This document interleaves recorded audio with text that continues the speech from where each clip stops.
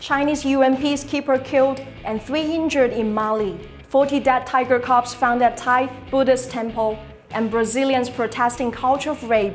You're watching three@five. I am Sophie China's foreign ministry confirmed one of its nationals was killed in an attack on the United Nations camp in Gao, in the East African country Mali. The mortar attack also seriously wounded three Chinese members of a UN demining unit.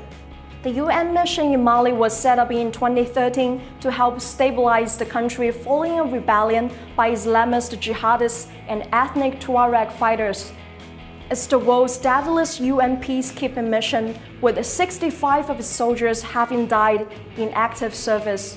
Al Qaeda militants have said they were behind the recent attacks. Thai wildlife officials have discovered 40 dead tiger cubs at a controversial tiger temple which has been locked in a long-running dispute with authorities and animal rights groups. The carcasses were found at a Buddhist monastery that offers paying tourists close contact with tigers. The place is widely known as the Tiger Temple. Temple officials deny any wrongdoing while the Thai wildlife authorities are investigating whether the carcasses are evidence of the temple's involvement in trafficking in endangered species and illegal wildlife trade.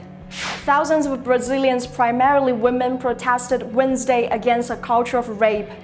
The protests are reaction to the attack of a 16-year-old girl sexually assaulted by more than 30 men. A video of the assault surfaced and circulated online and deeply shocked the country. The biggest protest took place in Rio de Janeiro, while the gang rape took place in the slums. And in only two months, the Olympic Games will start. So far, six of the suspects that brutally gang raped the Brazilian teenage girl have been identified by the police. The girl's boyfriend is believed to be among them. That's it for today. Thanks for watching. Please comment down below to give us your feedback.